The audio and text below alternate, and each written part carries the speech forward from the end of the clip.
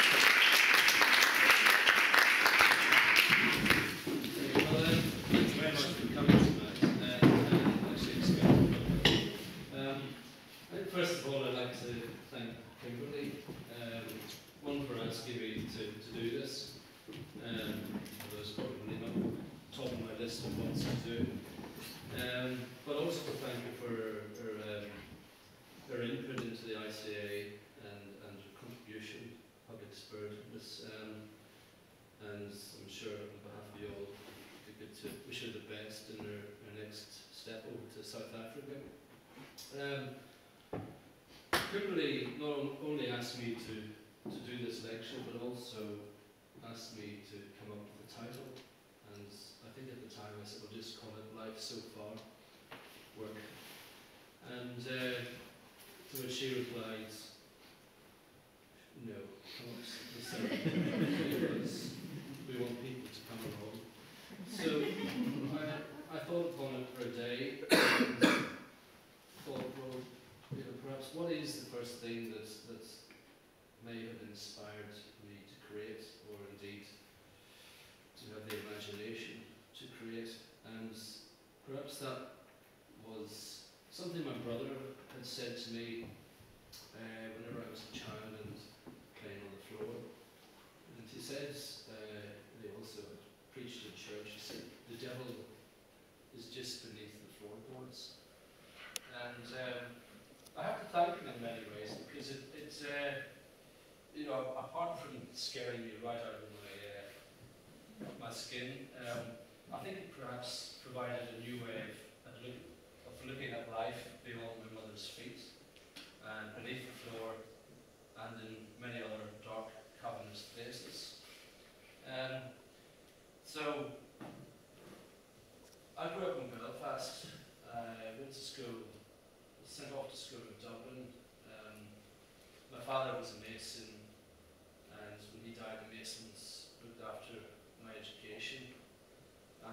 between 97 and 103 of us that, that went off.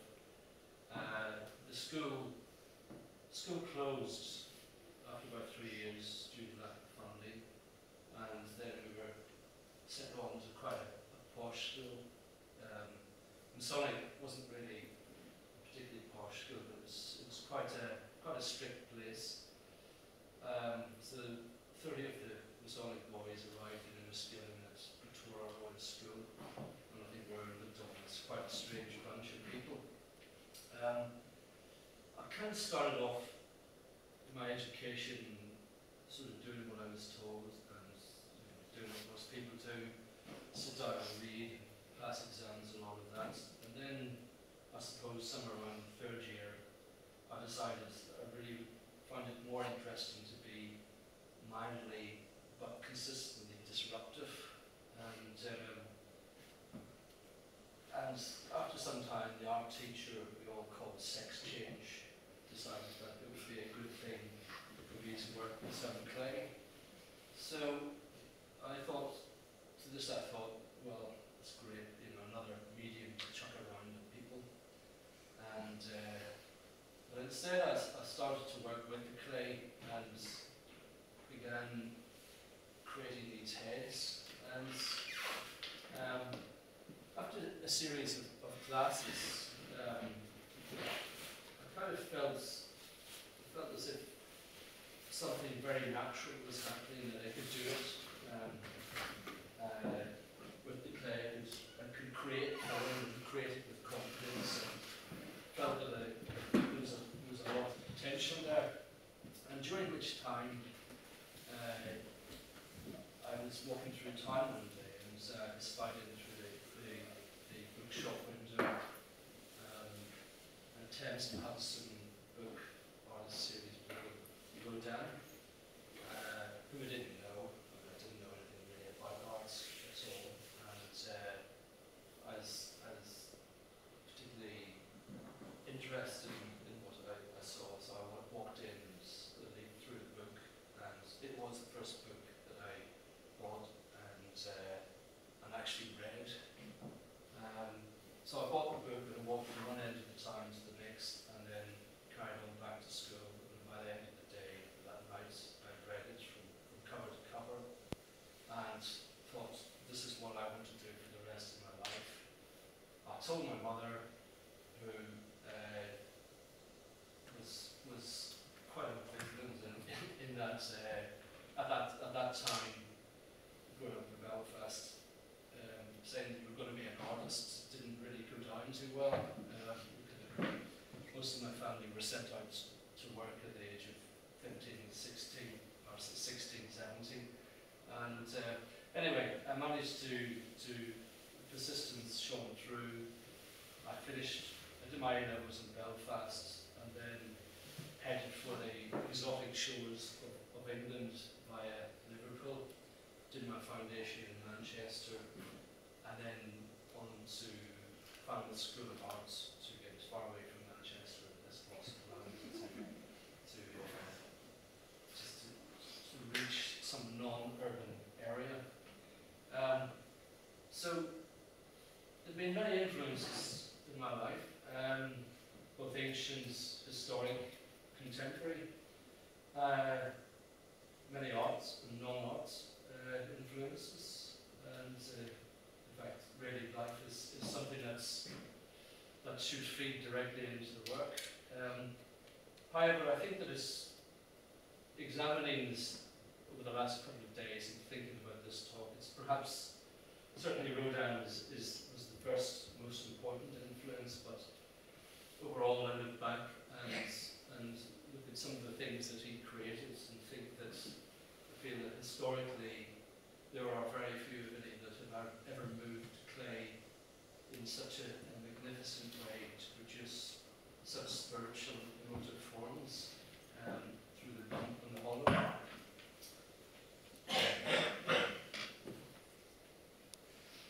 So, through art school and perhaps looking back, one of the most important times was actually uh, going off to France for three and a half months to to a city called Toulon in the Loire Valley, and um, and again it's one of those things. Just walking down the road by chance, and came around the corner and was confronted with this great vision of this Jewish cathedral, and uh, I remember looking up and just being awe-struck by the beauty, but also by a feeling of one's own, own mortality. That's what the that this image gave to me. Um, and six months before this, uh, I had had a bicycle accident where I went through the back of a, an articulated truck and uh, did a little bit of damage. And six months later, I had a bit of a meltdown and uh, ended up having to leave uh, college and, go to hospital for a while. And it's during that time that I began to create uh, these figures, um, which I created initially in wax. There were 25 altogether, and uh, and it, for me it was um, something that I was back in And I think that these figures were like a presentiment of, of memories of Cornwall. Um, Cornwall for me um, presented the grey area of humanity. Um, something like a middle world, call it. Um, and, uh, whereas what I grew up in, both politically, spiritually, and religiously, was, the dimension was very black and white. So coming to Cornwall was, was very much a grey area, and full of mysticism, magic, symbols, all these things were, were all very, very new to me. Um, so I created these figures, there a set, set structure and pattern and, that, they, that they were to go. And I left hospital and carried on with this project. And this became, known as Dance of the Middle World.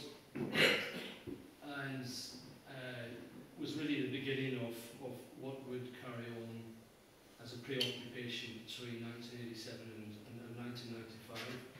And still to this day, um, the work remains in the studio, and I kind of see it as, as something that's not finished, as I do a great many things.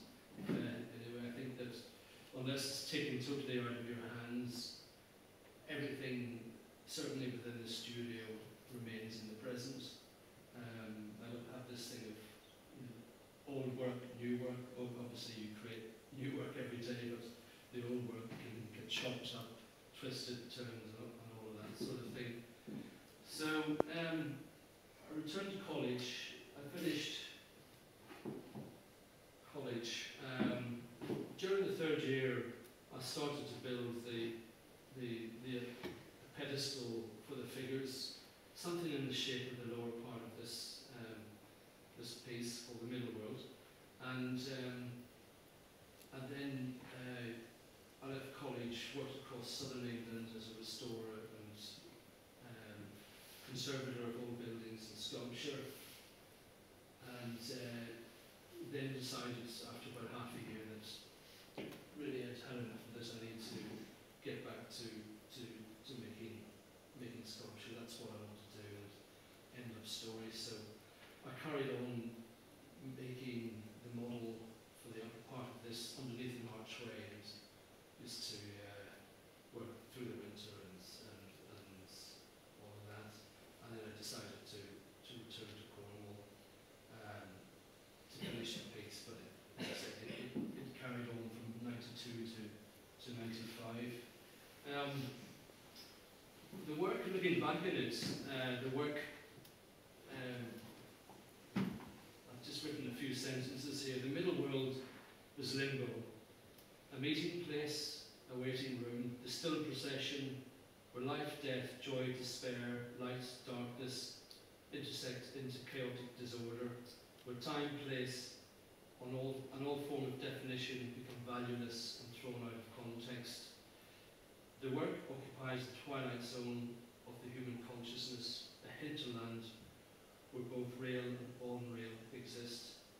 And um, perhaps that can all sort of be um, consolidated into one sentence, um, and it comes from a Seamus Heaney poem called Limbo, that I see the middle world as the cold glitter of, of souls.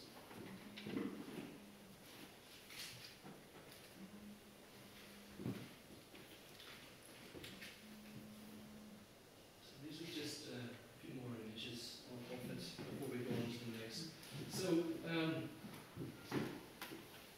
as, as, as time progressed and ideas and, and thoughts and feelings, it, it became sort of a melting pot or a crucible for, for all of those things and you could see emergence of, of natural and man-made mechanical form all merging together um, and forming like a bone structure as well.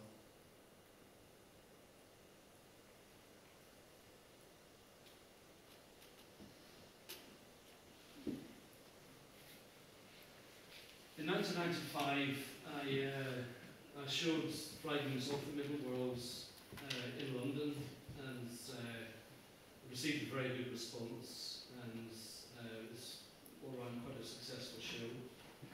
And I was invited by the patron Delfina Entrecanales to to either go to Spain or, or go to London. And Spra- Spain has the offer of free food and wine. uh, and um, and it, it, it seemed like a more glamorous, exotic offer to me. And I would go into London. The offer of London would have been two years, and mixing with uh, probably a good many of what were then the young Brits. Uh, it seemed instinctively that that Spain was something that I had to, to go for really. I listened to a lot of flamenco and American music in the studio and there was just some sort of pull there for me to do. So I headed off in spring 1996 to Casa Manilva, uh, which was an old medieval prison uh, in a small town called Manilva, not that, far, not that far from the coast. And uh, the first, after a night of rain and wind, uh, yes, it happens in Spain too. Um, I woke up and walked around the town and saw these wonderful, uh, this wonderful landscape in all directions, stretching to the, to to mountains and beyond. Uh, these tiny dots and these were very old and famous black vineyards, um, which they made a particular type of wine called Mosto. And the vines were very old, they were 80, 90 years old. Henceforth, they were very thick and gnarled and, and quite figurative looking. Um, and for the next while, I drew these, uh, the next couple of weeks, I I became very obsessed with them, the movement and, and the, their ancientness. And uh, after that, I then started to attend bullfights, flamenco dances, and just generally immerse myself in the culture of Andalusia. I traveled to Seville, to the Semana Santa, to Granada, and, and many other places. And um, and created out there um, a model for my first corrida, uh, which means bullfight corrida de toros, uh, which is run of bulls, I think it translates as directly. Um, I then sadly had to return uh, to, well not sadly, but uh, I returned to, to Cornwall. I wanted to stay in Spain, but uh, life had to, to carry on in another place.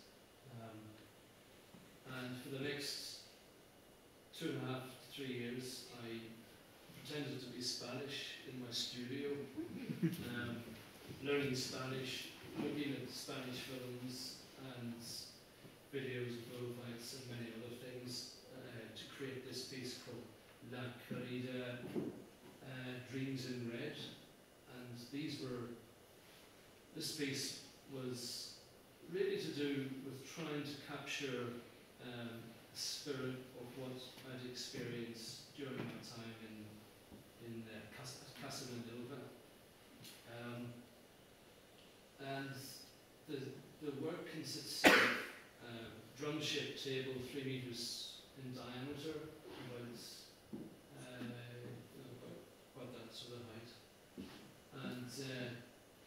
Consisting of a cast of bulls, toreadors, horses, and dancers um, that act out particular rituals on the table. And as you can see, the, uh, the figures are lit and uh, by fibre optic lighting, um, which had an interchangeable uh, disc that's shone onto the walls, a bit like a lighthouse that it would shine different colours, which would appear and the projections would appear and, and, and disappear. Um, I'm just thinking, should we have the lights off? Because yeah. I can't do my notes. so, is that, is that better? Yeah.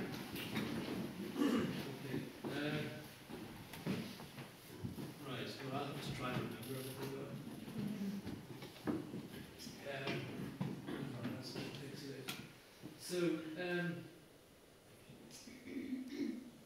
and, and so the lights, the, the fiber optic lights would project onto the walls these images, and uh, and this would take place under the, the drum beat of this processional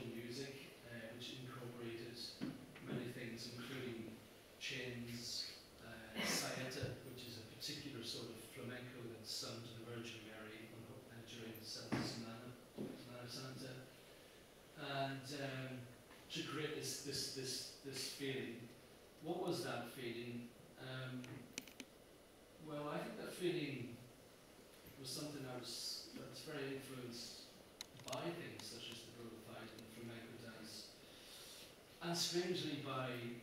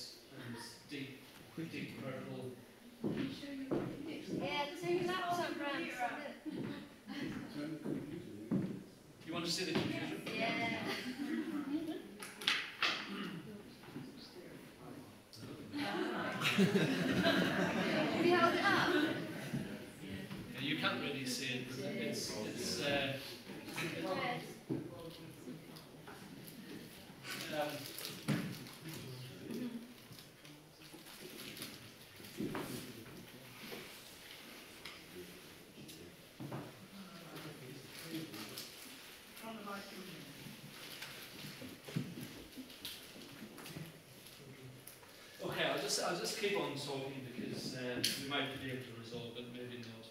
But um, I felt that, that that with Belinda's images that she'd really really pushed the whole idea of, of, of what the work was about uh, through photographic image, um, pushed that feeling forward. Whereas I find many photographs that are taken of, um, of my sculpture and, and probably happens to every sculpture, it doesn't translate the sense of feeling and volume and all of those things. I think, I think we just carry on. Yeah, not, not to worry.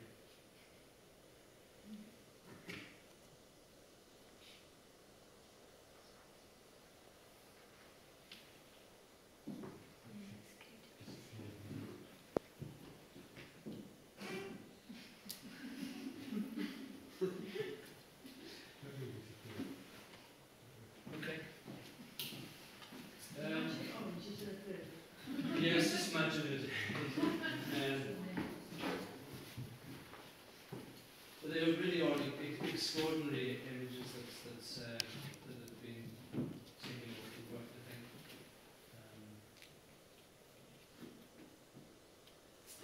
Um, as a lot of the images that, that, that we see you know, do have direct reference to, to things that I saw.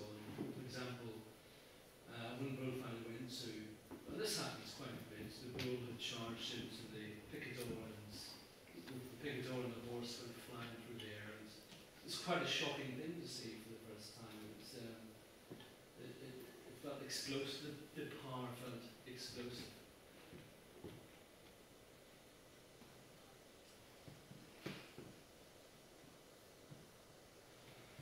Right, um, so that was Spain and La Corrida, Dreams in Red. Um, the piece was uh, shown in London, in Cornwall, and indeed last year um, during the Origins of the Drummer Show at the Millennium Gallery. In 1999, when it was shown at Falmouth Art Gallery, um, and afterwards, I, s- I suppose I probably suffered, most artists suffer from post-traumatic exhibition disorder, um, which I'm sure many of you that make work work feel that sometimes where you, you know, you have a build-up of, of, of your work and towards the show and then it's all over and all quiet and uh, everything is back to normal. I thought I would be, I had this idea that I would head off to London at this stage and um, I was called one day in uh, early August uh, and two individuals wanted to see the work. They came to the studio and then I was invited to to a meeting the following day uh, on the edge of a big pit somewhere in mid Cornwall. Um, I went into this this uh, well, it was a sort of like prefab prefab mo- mobile hut. I sat down with a few other artists looking at these guys, and um, one of them pulled out what looked like a, um, a, s- a space laboratory um, that, would, that you would imagine would be put on the moon, and said, "This is what's going to be the Eden project," and uh, so we're going to create this this this um, this bubbly looking thing in that big pit down there. And I looked at the guys, and this was Cornwall 1999, and I, and I thought, they've just got out of Bodmin. um, I'm, I'm sure that they've just escaped from the, the nearest asylum. Anyway, the reality was that that says the, the space lab did get built in uh, in the pit, and that did become the Eden project. Um, after I agreed that uh, would actually like to, to work with them, uh, I returned to another meeting, and they said we would like you to work about the wine exhibit area, and. Uh, so that's that that day was uh, we, I was given uh, a lot of pieces of paper with stories relating to the vines to take away and read. Uh, stories about Christ turning water into wine, the making of wine, and um, then something very interesting, uh, which was which were the mythologies to do with Dionysus or Bacchus, as the woman called. Um, I looked at these stories and decided to do some further research. I read Euripides' uh, Bacchae. Euripides was a, uh, a Greek playwright he produced uh, a play called the Bacchae, which was about the Dionysian rites. Uh, that was followed the, cult of Dionysus. Um, and really was enthralled by this. And the more research that I did, the more I um, became more gripped by the the the whole idea of, of making this this piece of work. So I created a maquette uh, based on Bacchae, returned to the Eden Project guys six weeks later, and the lights, the little wax maquettes that were performing some strange rite on a, on a plateau, um, which included sex in the swan, the ripping apart of animals, and goblins' wells. Uh, it kind of produced a look of consternation and, and glee in, in their eyes, and Tim Smit took a puff of his cigar and said, don't get run over by a bus, kiddo, we need you. So soon after the, the, the contract was, was signed and sealed, and I did further research. And it was interesting to note um, the connection between the last piece that I'd created and, and the rites of Dionysus. Dionysus, great god of the wines, took many different forms, lion, bull, serpent, um, curly-haired young virile man. And it's it, interesting for me because I saw the bull as this wild force of nature, and therefore I felt that uh, this is the form that Dionysus should take. Uh, the scene was Dionysus in the middle and uh, surrounded by uh, teeming, riding, um, team, or uh, Maenads riding and dancing, beating drums through the through the uh, through the rite, and, and other scenes took place as well. The piece is created in copper, um, and I I had to create create the piece in beaten copper as opposed to casting it because um, it seemed to be the quickest and the cheapest way of, of doing this. But it also meant that I had to work in a completely new way. Um, and by the end of four years, um, I really finished my time with it. Can you see okay?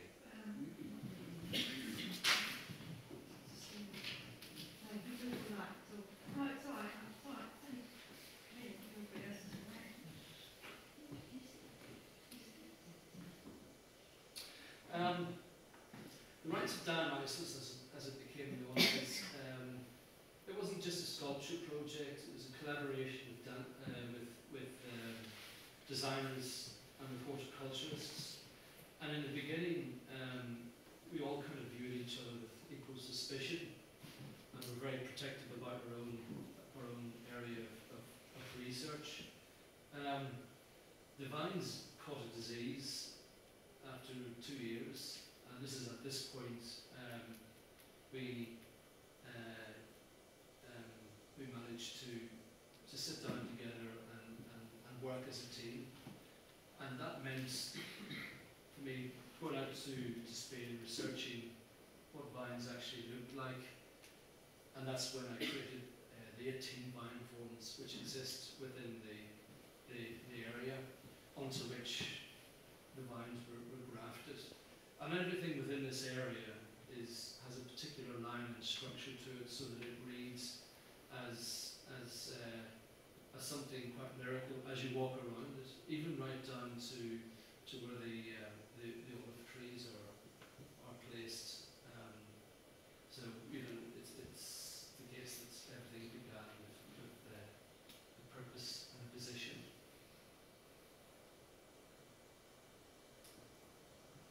And it's now that, uh, you know, kind of feel that everything has become quite naturalised. Um, this was the last piece that I created for the Eden project, and it's the, the last three figures are like um, uh, are depictions of the gods, the sun, the star, and the moon, uh, as deities, and they sit above the the, the Dionysian rites. Um, so with this piece, um, it's it's uh, it's very much about what I consider the stars would have been like this exploding out of light from the great co- cloak of darkness, and each of the 180 spikes have, uh, have a LED in them, um, so, so that projected out light. I'm not quite sure how many actually work these days, but uh, that that was the idea. And at this time, uh, it was around the 30th of April 2004 that um, that the now infamous image of the Abu Ghraib uh, tortured prisoner arrived in the papers. And in fact, somebody brought it to me that day, and I kind of felt that that the sort of the overall shape and structure was not that far removed from from that, that picture, which I'll come to, to later on. I don't quite know what happened um, from September 2004 through to, to the following year. I think it was sort of lost time. Um, I'm not quite sure where it went, and I've- it's too long ago to remember. Um, it, it probably was uneventful. Anyway, um, next up, I was invited on a scholarship to the British School at Athens, um, uh, where I spent another three months um, work, uh, travelling across Greece to all the ancient sites such as Delphi and Olympia um, and um, Mycenae, many other places as well, basing myself at the British, British School. It was a place where access to a lot of knowledge about the past. Uh, everybody there is doing a PhD or is lecturing um, to that standard, and um, and so you were waking up in the morning to people flying in from another country that were about to deliver a lecture on a particular aspect of archaeology. I drew the, the, this um, this um, th- this drawing of the, of the Parthenon. And I was quite intrigued by this building. It's, it's made out of masking tape and newspaper uh, and, and lead pencil. And I was always in, intrigued by what would have what would have gone on inside this place. Um, and indeed, I was told that that in, within the inner sanctum there was a 40 foot statue of Athene. Um, and only the priests were allowed into the inner sanctum to worship her. And they felt that that within the the marble and the ivory and gold there lurked the spirit of the god Athene. And I find that quite an intriguing thought that you know, within within within a shaped form, man-made shaped form, there was this, this presence. Um, this is uh, a few little drawings I did of a probably three centimetre high bronze uh, statue of a child deity. Um, I was kind of spooked out by, by this because it reminded me of um, back to that, that image that I saw on the 30th of April 2004 of the Ghraib figure. It's, it, the figure itself had, had some sort of resonance with the past. It felt as if, as if it had been around a long time, since the dawn of mankind.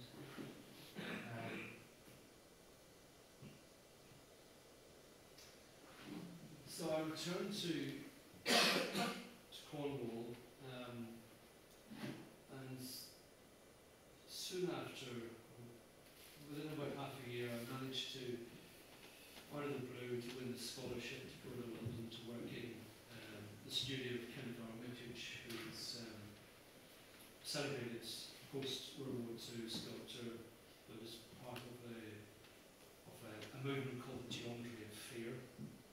Um, and this was, it was, it was a gift from the gods, really.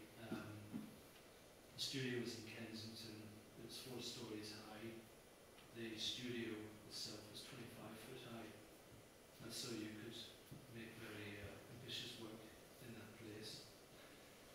This during the time of the, we were well into the Iraq War by this stage, and um, apart from making other works, this was the, the piece that I felt I had to make.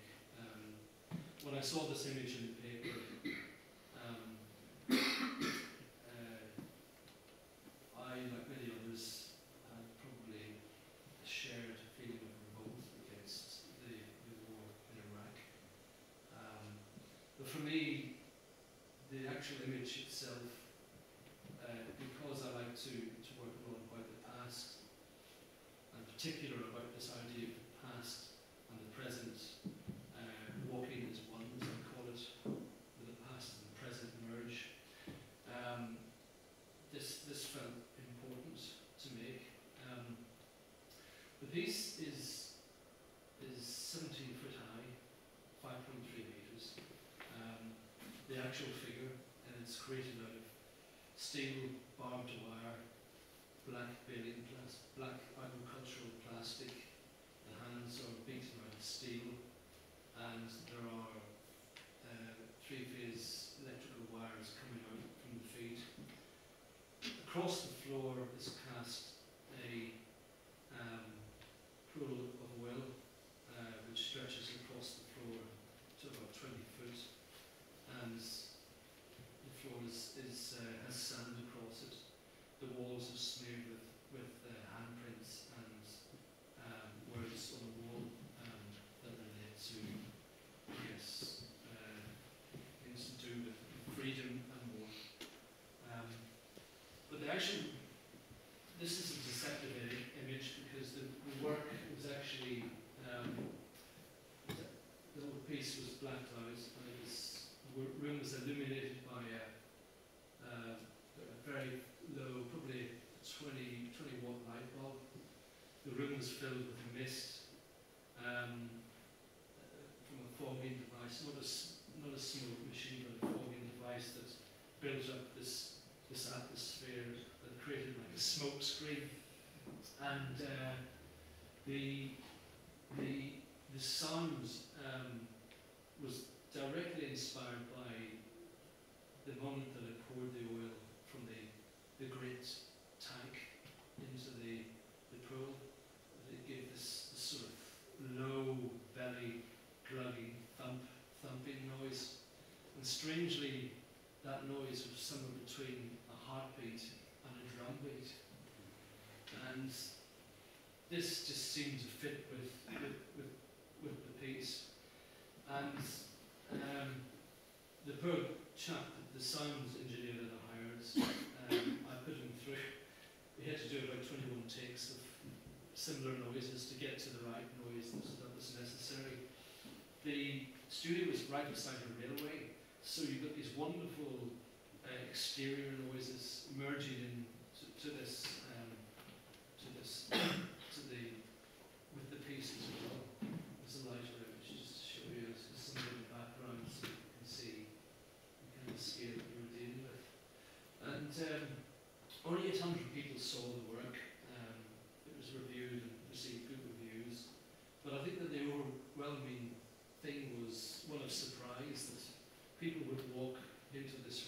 see the middle world, and then they walk through double doors, through a corridor, and then uh, they would hear this thumping noise, um, which was amplified by valve amplification, which made the whole building shake. And then this, they saw this, this was um, described as a phantom form. And I say it as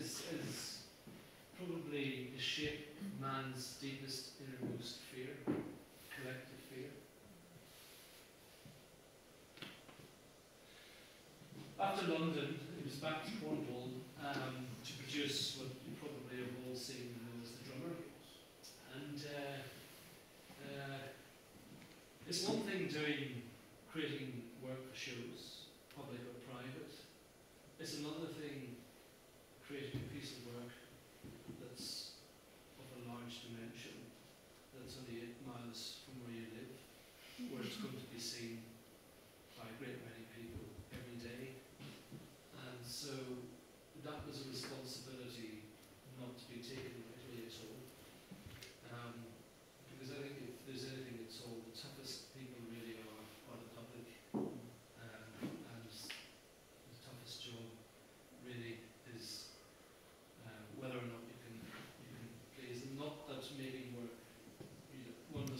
to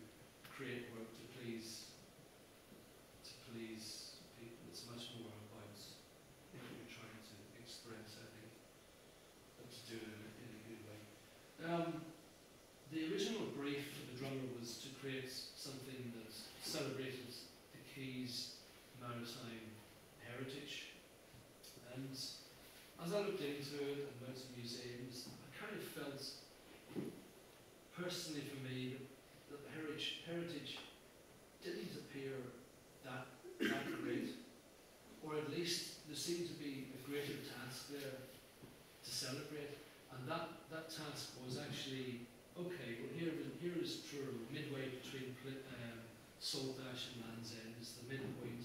It's now the city of, of, of large town. That should be the place to represent something about uh, Cornwall, its people, its past, and the place itself.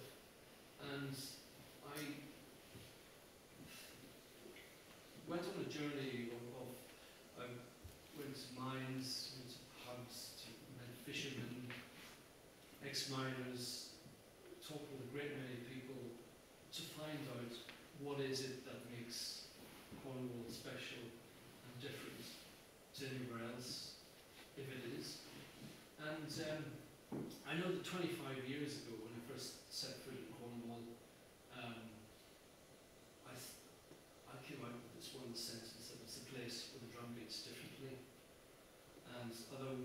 sounds quite young and poetic. Um, I think that was my way of explaining there's something different about this place. And after a good deal of thought,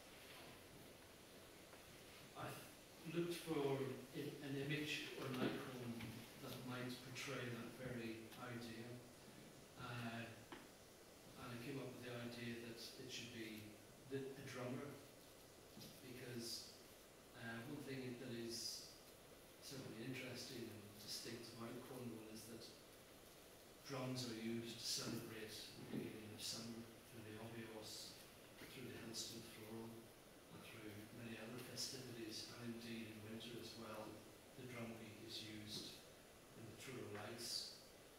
So it seemed that, the, and this is how the, the idea of the, the drum came about, um, the idea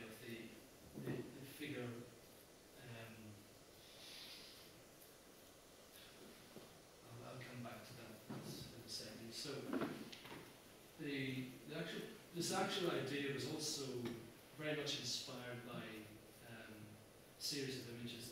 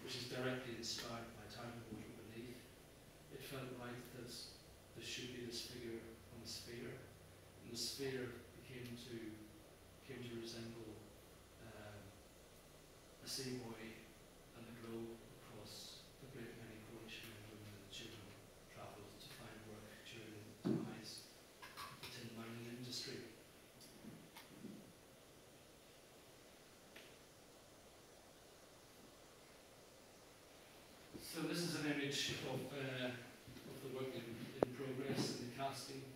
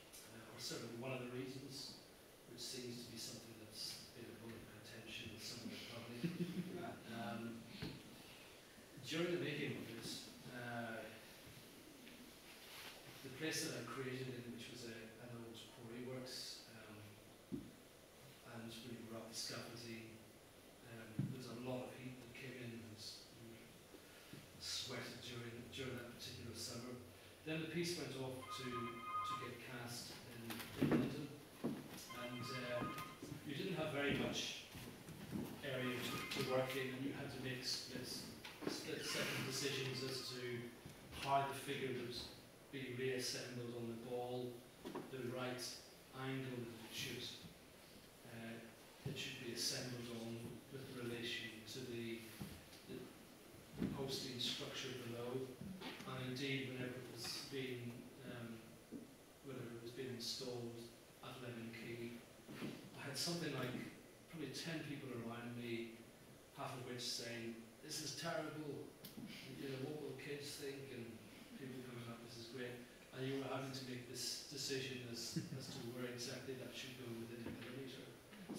Tony. a hard job, really. Um, I put this image in because um, this is uh, the icon on the on the drum is misfire. Everybody, in fact, and it's actually a very important symbol that ties the piece back into Truro. Um, I was at a loss a lot of the time to really try and flatten some very interesting reference that tied back into Truro. Truro is, is um, and I came to the conclusion that Truro has historically uh, served as a, as, as, a, as a commercial centre for a rural community, but also it served as a stannary town where tin was weighed, sold and valued. And the symbol of the paddling was used, also the lamb and flag. And in Truro Museum, there's a symbol of the lamb and flag, and it's very similar to this motif. Neither does it look like a flag nor a lamb, but certainly what it does look like is something very ancient and pagan. And uh, if there's anything about Cornwall that really stands out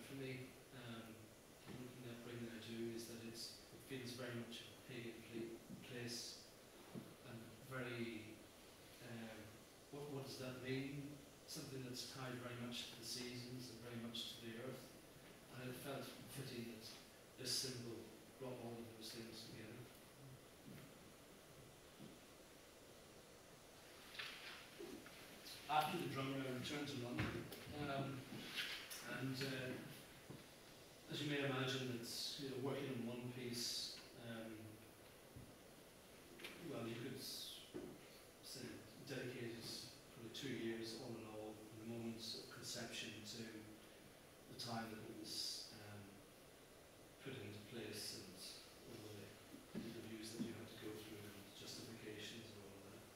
Um, I was ready to go to London and um, experiment with the new medium. And uh, it was a piece that I, I tend to work a couple of years ahead in my head.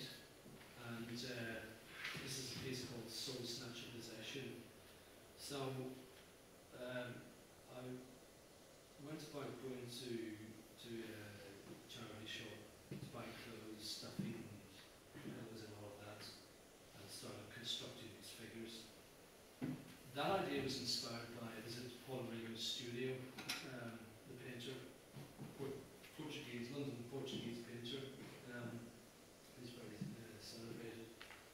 And when I went into the studio, I was met by an entourage of, of uh, soft dolls and people, and pillow man and people that, who seemed very alive.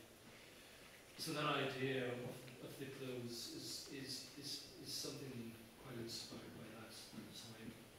Um, however, the, the actual um, is very much about, uh, well, it's, it's, it's about the taking of life, soul, or spirit by the powerful, be it in commerce, the corridors of power, or on the street. So it's very much about that, that, that, that parasitical um, relationship between the powerful and the less powerful.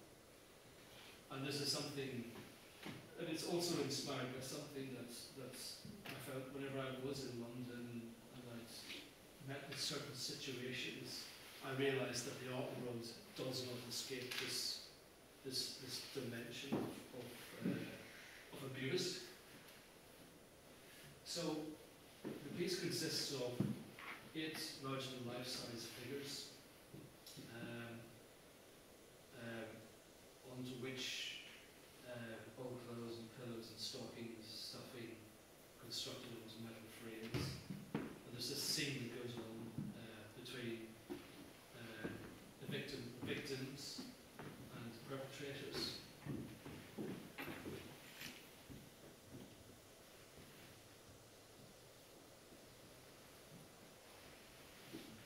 And When I showed it in London recently, uh, this was the last show that I did, uh, and uh, it was actually called Soul Snatcher Possession.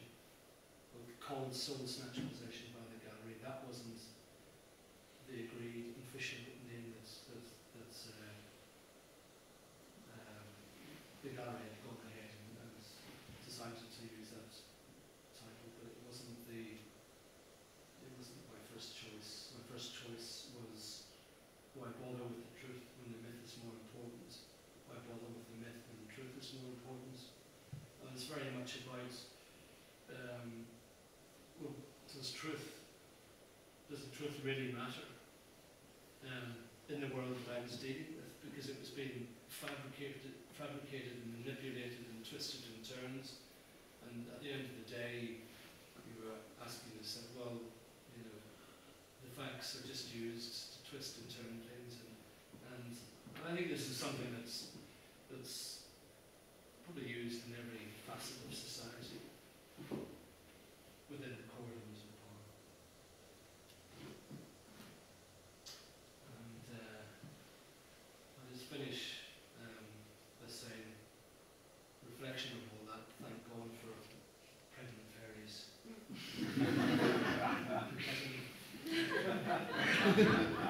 um, anybody got questions? Where, where do you work? Where do you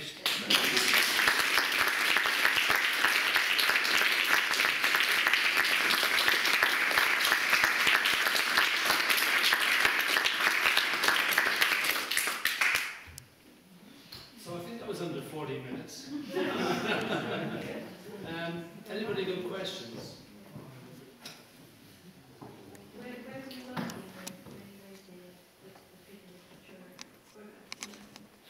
Uh, I was working, uh, interestingly enough, when I got back from London, I was searching for a large studio, and I'd gone around the industrial estates, and somebody had just bought a plot of land quite near to where I live, and it's the, the actual, that actually, what became, what is now my studio was a, a, a large shed that was completely blown apart by the wind over years of dereliction. And I, I walked in and I said, you are joking. and they said, in six weeks' time we'll have this up as a fully functioning studio. And I didn't really believe the owners, and um, but right enough, in six weeks' time I returned and the studio was looking absolutely wonderful. And then I took it on and still have it to this day.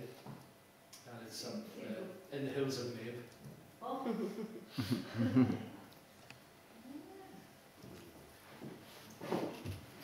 What was your response to Soul Snatcher Possession by, uh, by the art world or? Um, well, a lot of people visited, and uh, a very good response in that that they got they got it, they got the feeling from it. Um, the gallery would, would tell me over and over again that people would walk into the first floor and they'd see these two relatively um, light-hearted pieces called Pregnant Fairy and Ketamine. And I guess they expected to walk upstairs and find similar. But the piece is the piece is quite heavy going. I think in terms of what it gives over, it's it's um, it's claustrophobic and it's it's about nasty stuff. So people would walk up and then come down and kind of walk out like this, with their mouth open, and then out. But you know, it got a good response in terms of what it was trying to put across. It's in my studio and it will be shown again probably 2014, possibly next year in Cornwall. Um, Are you going, are you going to love it, or is it still a presence in your studio? um, it's undercover, but it's, you know, as I say, it, it's, uh, it's, when I was working on it in London, it's probably the only time that I've come away after three days of long installation on it and felt very depressed. because of what it gives over. It's it's um, well, it's a very it's a piece about very serious issues. Um, it's about the taking of life and soul and spirit by the powerful. What made you show that with Ketamine and the Pregnant Fairy? Um, That was said, I think the Pregnant Fairy and Ketamine, they're light-hearted pieces. They're still serious pieces, but and a good deal of work went into them. I think I needed something to balance and to lighten, lighten to balance the the show, and um, I mean all three pieces are very imagined pieces of work. Um, and yeah, that's that's all I can say. Do they exist as one sort of trio, as it were, where No, they they go or they say, oh, no, right, separate? no, they, no, they don't. Um, they're three distinctly different pieces. Um, Ketamine is inspired by um, a festival scene, and myself and a friend had managed to impersonate. We pretended we were journalists, and we managed to get into this festival after half an hour of blagging it, and into you know special tickets and all of that.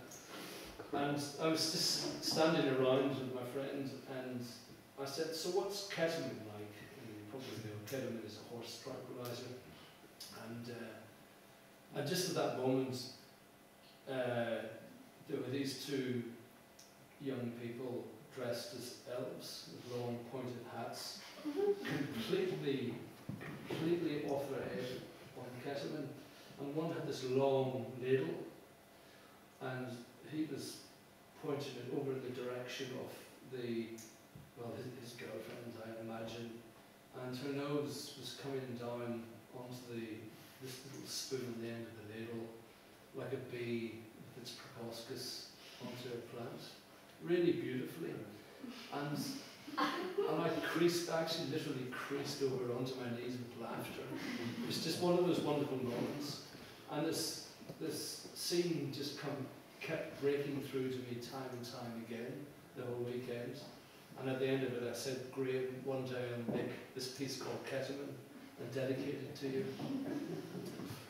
Pregnant Fairy uh, is just one of those things that landed in my head. You, you've just got things that ideas land in your head, and, and it landed in my head, and I thought, well, I've never seen a pregnant fairy depicted in, in sculptural form, and I kind of thought, well, I wonder how we would procreate through the centuries.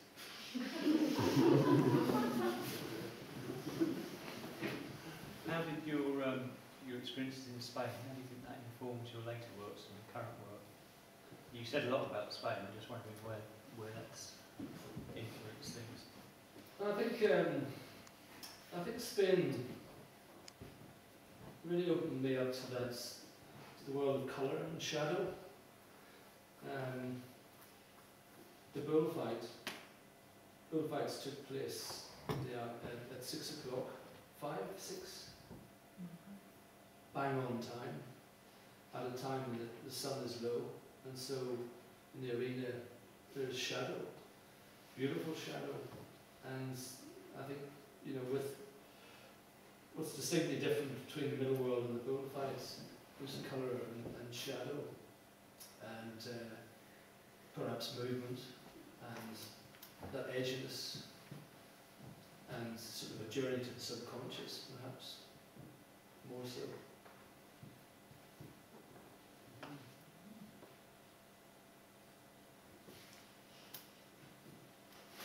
A lot more political work recently, especially since the uh, Kent uh, period. Yeah. Is there um? Yeah, it's a good question. Um, yeah, I am. But I would say, first of all, I think that all, you know, we're probably all work to some extent is political. Some is uh, not so overt.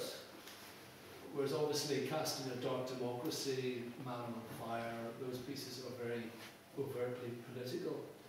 But um, I think that all work has a political message in it. Um, yes.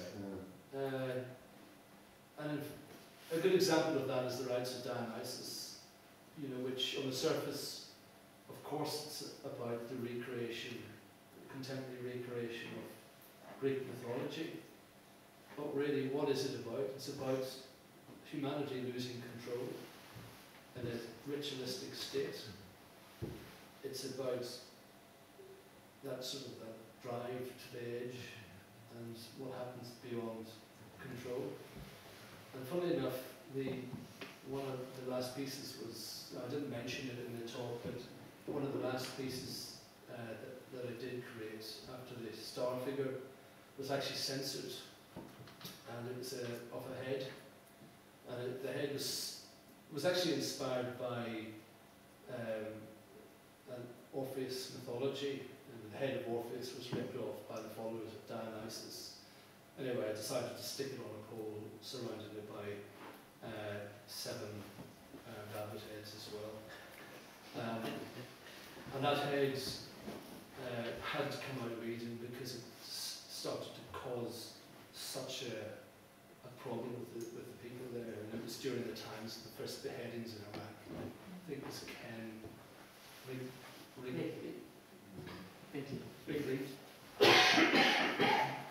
Um, and that was the idea, you know, that I, I actually think that, that work was never about one thing. It's never about mythology, it's never about this or that, it's about many different things.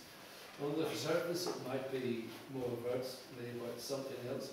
The political work is also about spiritual matters because it's inseparable. Mm. Belfast, yeah, I do want to produce um, the a piece that's about Bloody Friday, um, which is an event that happens on uh, I think the 14th of July or thereabouts in 1972, where the IRA uh, let off 22 bombs within one and a half miles and 90 minutes after each other. You can imagine what mayhem that produced. This is something that few people know about. This this this side of the water and throughout the world. We all know about Bloody Sunday. Mm-hmm. And I think that if there is to be any true reconciliation, that has to be revisited. I have problems with it, obviously, because it's about very deep and and it's about troubled times.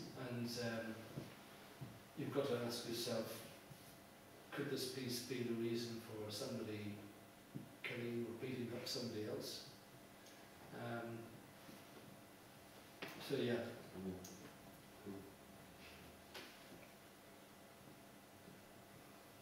You started off with the devil and the floorboards and in, in limbo, which doctrinally no longer exists. Do you feel that because it has been taken on the doctrine that it can become a much better thing for us? I miss it terribly, the idea of limbo. I think um, it just, it was a place, you know, kind of in, in doctrine, Christian doctrine, was, it was kind of a place where you, you might, I'm just thinking about it as a, but when it was taken out about 20 years ago out of the, out of the doctrines. The And I was out of the doctrine, Yeah. Doctrine. But I don't, I don't know what kind, I don't know, you know, I don't worry about too much of now.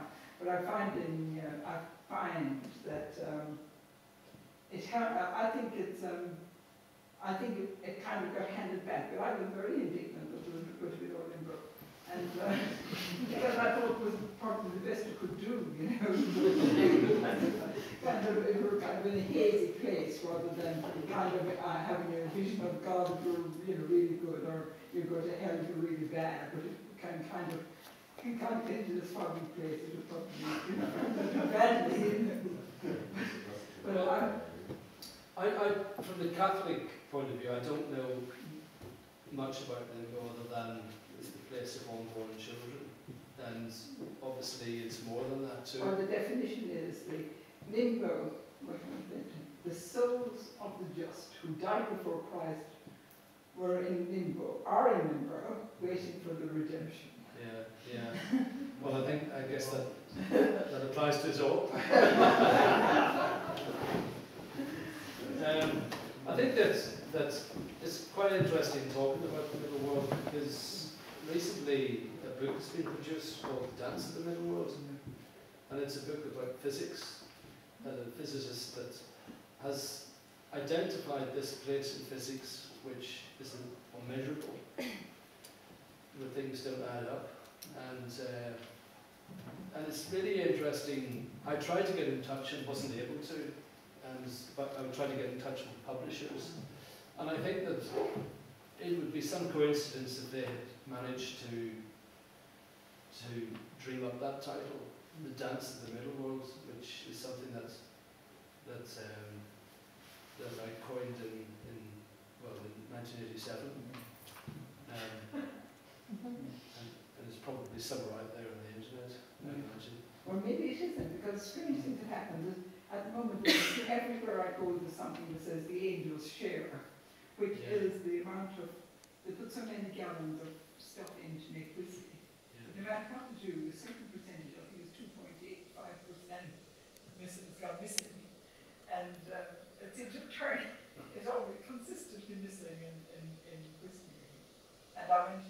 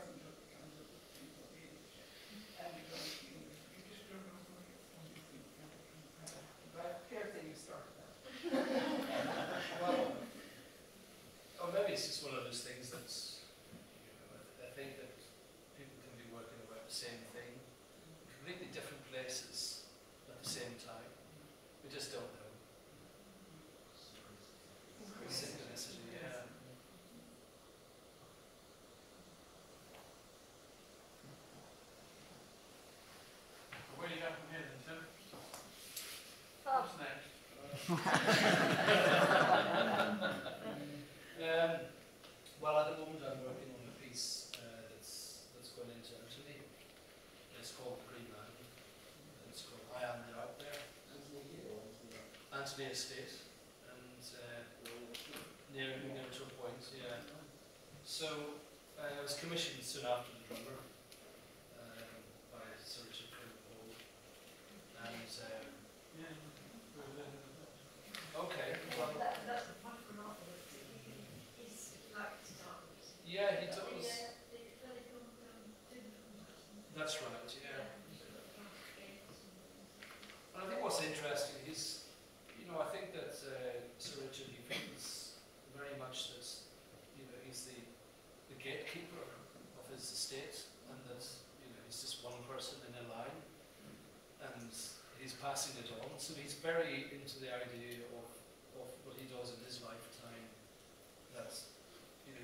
goes to his garden and he's commissioned some quite interesting, interesting work. When I asked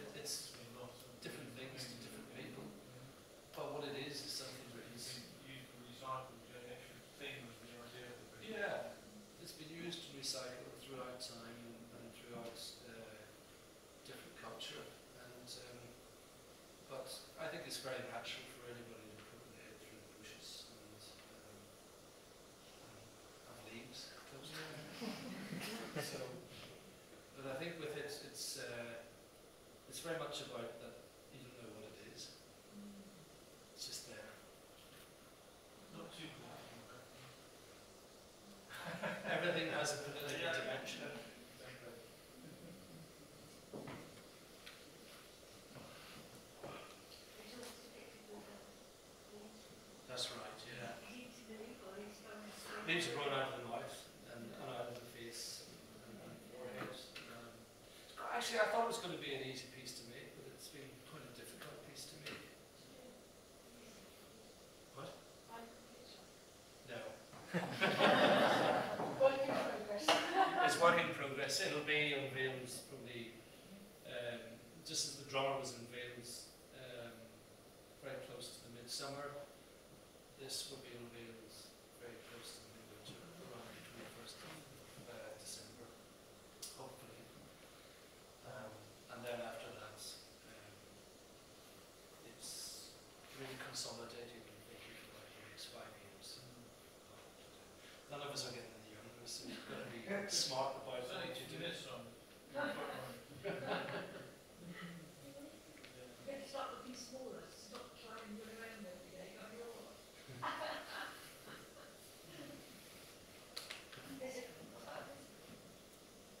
making sculpture. Uh, I think it's mentally attack. I think it's mentally taxing. Physically,